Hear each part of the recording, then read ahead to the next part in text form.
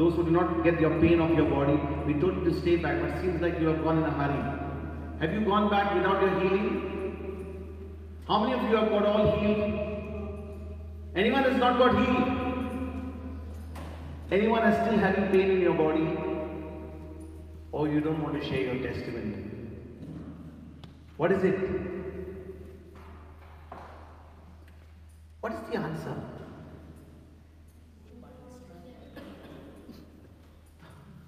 Okay. Alright. You have a problem. Okay. Sister, you, you, you finish this now. Okay. Those of you who have not finished, just wait, just stay back. Okay. Now say this. Loving Father, Loving Father, I'm speaking right now to the shoulder pain of my brother, to the spirit of infirmity in his shoulder. In the name of Jesus, I command right now all the pain in his right shoulder to get out of his body now. In the name of Jesus, by the power of the Holy Spirit, I command right now all the muscles, all the bones, tendons, ligaments, tissues to be lubricated by the power of the Holy Spirit. And I command right now all the pain, all the discomfort to leave his body right now in the name of Jesus. Thank you, Holy Spirit, for performing this week's uh, surgery in my brother's body and setting him completely free. In Jesus' name, amen, amen, amen. Just sit on here.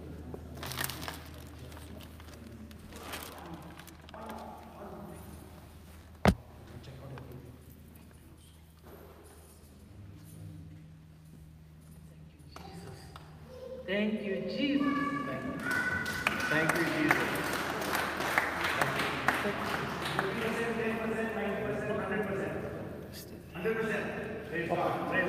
Hallelujah.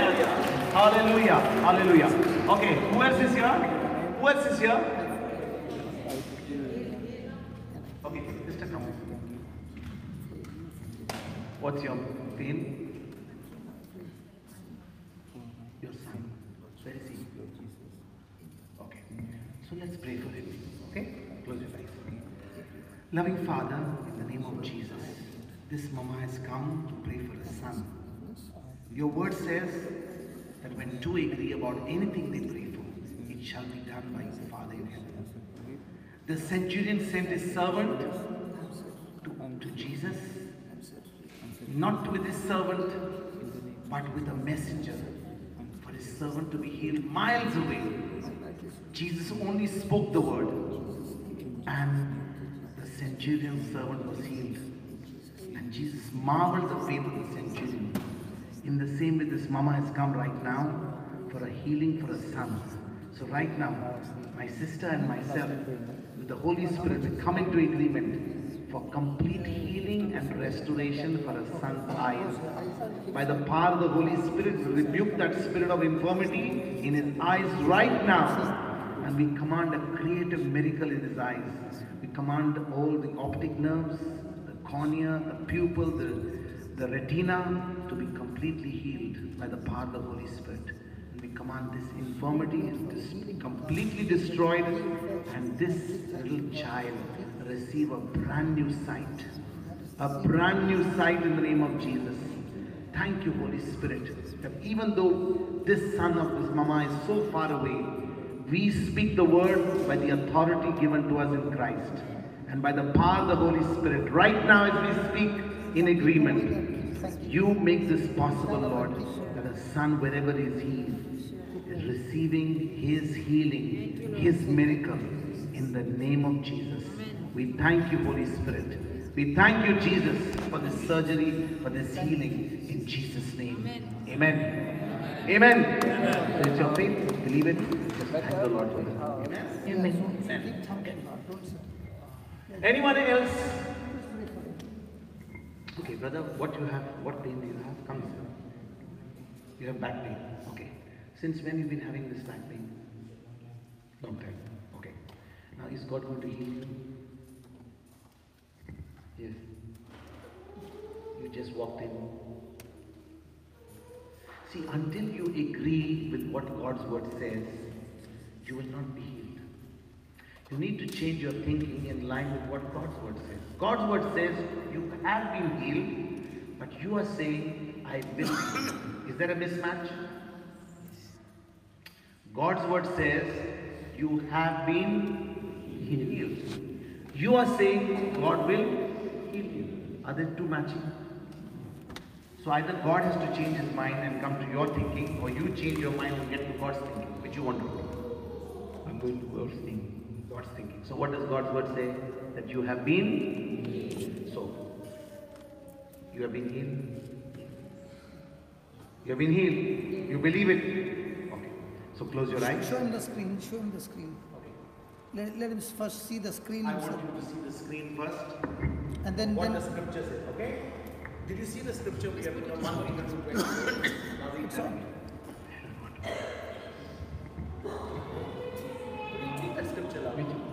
the yellow one. The one, in yellow.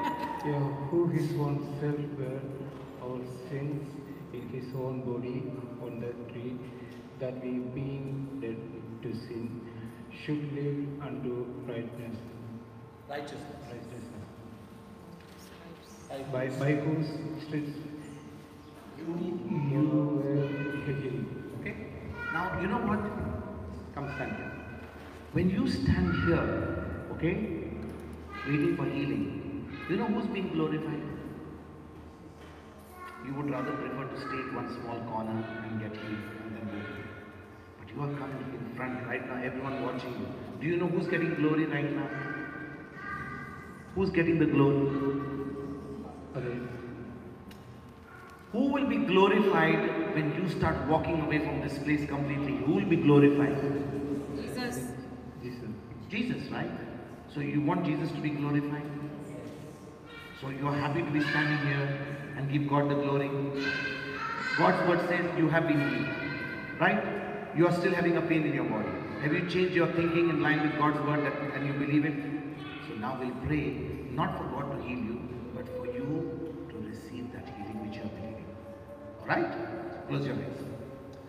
Loving Father, I thank you and praise you for this brother. He's been in pain, he's been in discomfort. But right now, in the name of Jesus, he has understood that he doesn't need to ask for healing because Jesus, you have already carried his pain, his discomfort in your body in the cross. So right now, Father, in the name of Jesus, I'm speaking to the spirit of infirmity in this brother's body, especially his back pain. I'm speaking to every bone in his body, disc, spine, pelvic bone.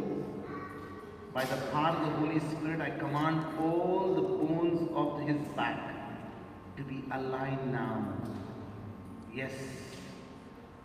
I command all the bones of his back to go back to their rightful position in the name of Jesus.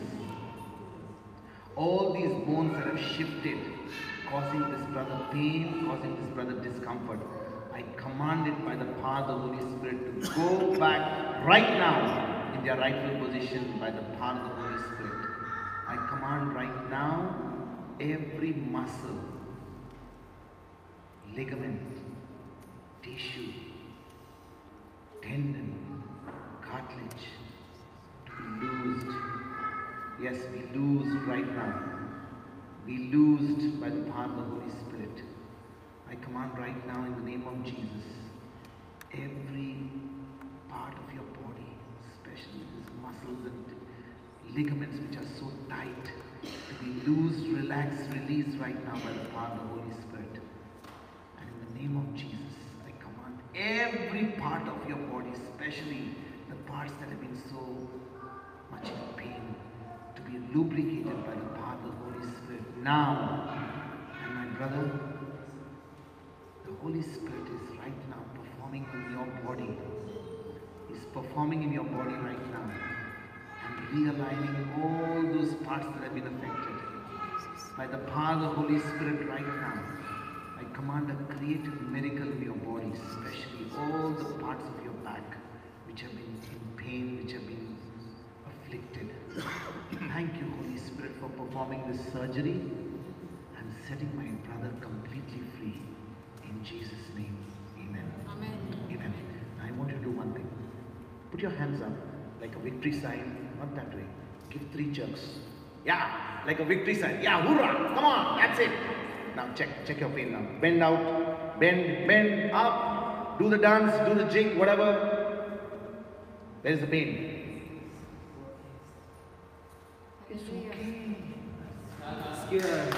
Hallelujah. Say something, say something.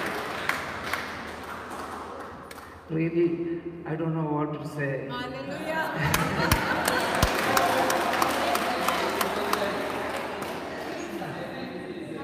Not this Do you want a partner to dance?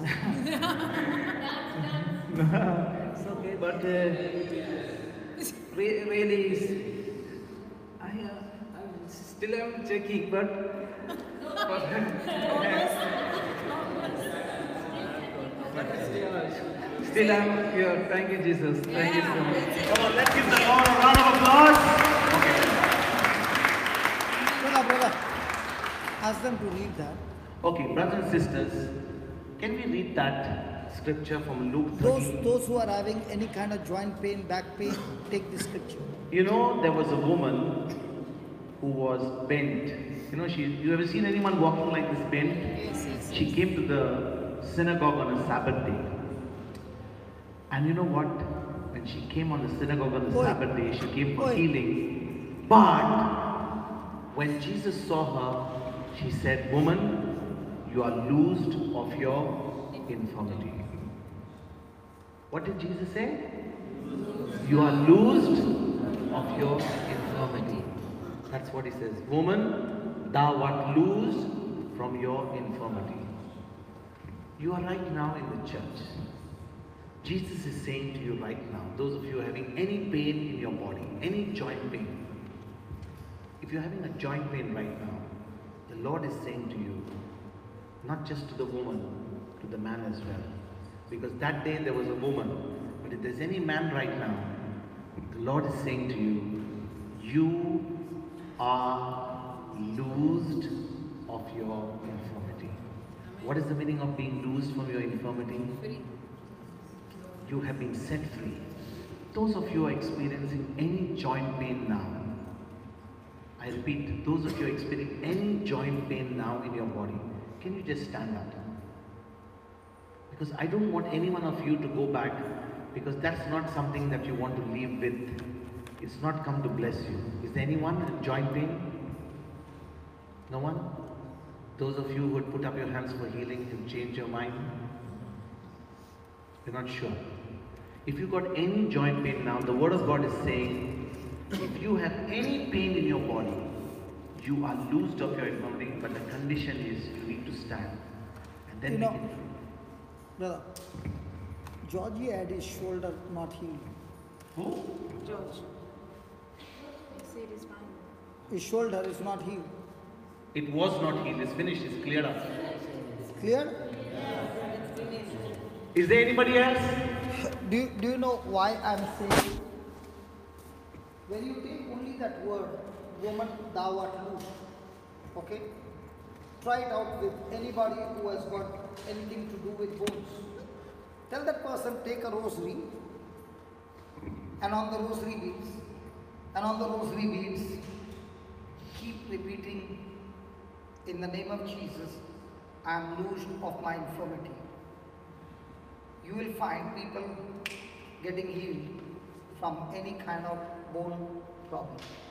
Because when you are saying, in the name of Jesus, I am loosed of my infirmity, you are not saying your words, you are saying, you are saying, Jesus' words. and remember, Jesus' words are the same yesterday, Today so when you are saying, in the name of Jesus, I'm loosed from my infirmity, just like that woman who had a spirit of infirmity that had made her cripple for 18 years, in the same way, no matter how many years you have been afflicted, this word will set the person free. Amen. Praise God. Praise God. Hallelujah. Hallelujah. So please use scriptures. Like my brother was there, he got a lot of time. Then he said, I got healed. Now what does that mean? He could have gone back and sat down and he could fight the battle again and again using the scriptures. So when a person fights the battle, the Bible says, Jesus says, the violent take the kingdom of God by force. So you must forcefully take the kingdom of God by exercising your faith. And remember, every time you are exercising your faith, it has to be the word of God. And when it is the word of God, don't change the tense. The big problem that blocked this brother from receiving his healing is he believed in the future tense, God will heal me. And God was saying to him, I've healed you. I've healed you was spiritual evidence. God will heal me is expecting physical evidence. So they both were in a mismatch. But now they both came into agreement when he renewed his mind and began to believe that he's already healed. So when he is believing he's already healed, remember the power is not going to come from outside to heal you.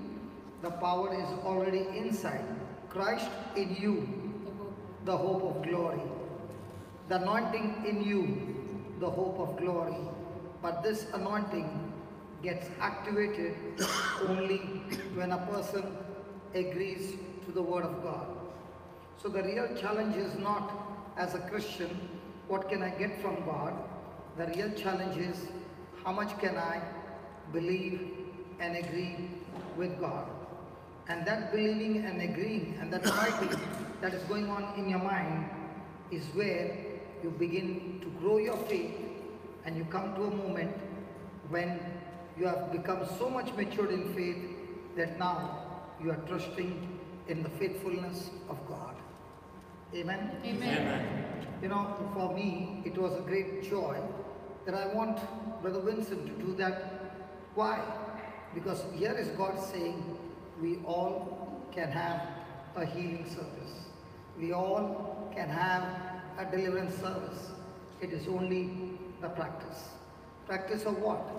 Exercising our faith. Praise God. If we both are standing here, it's only because this is what the word says. This is what we want to exercise, our faith. And it is sometimes some people did not get healed. But does that mean the word is wrong? The word is never wrong. It is we who are wrong and we need the correction. Hello?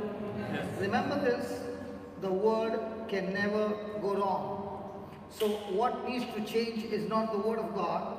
What needs to change is me from my unbelief to faith.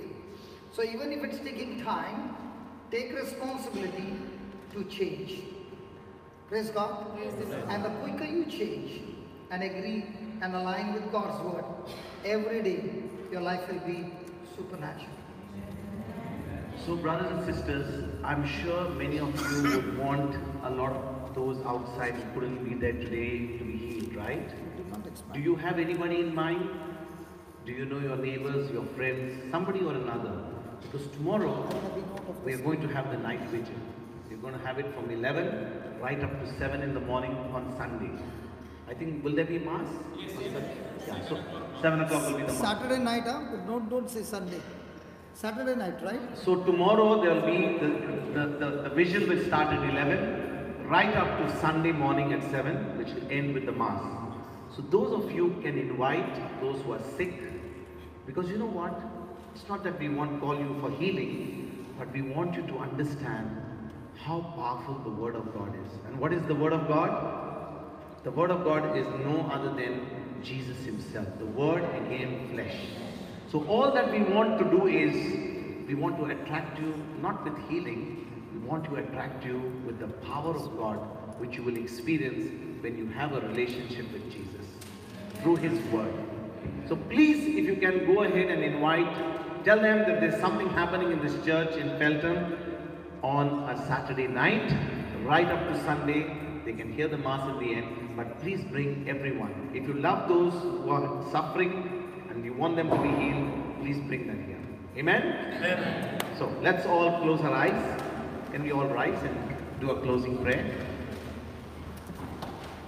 Loving Father, we thank you and praise you for giving us this few hours listening to your word, helping us to understand, Lord, how powerful your word is, how effective your word is.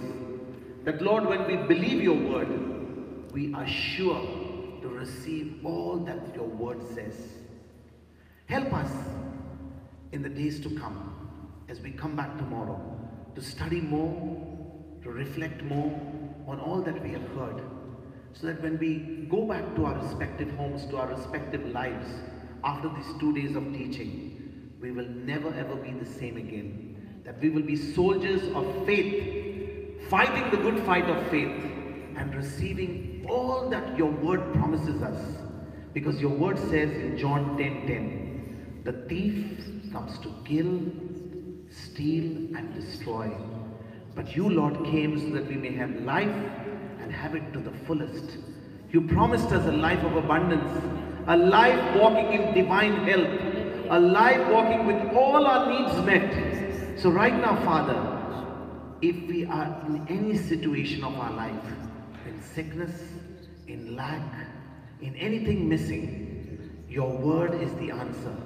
Help us in these two days to study, to build our faith, so that when we go back to our lives, we will never ever be the same again. We thank you and we praise you in Jesus' name. Amen. Amen. So see you all tomorrow at what time?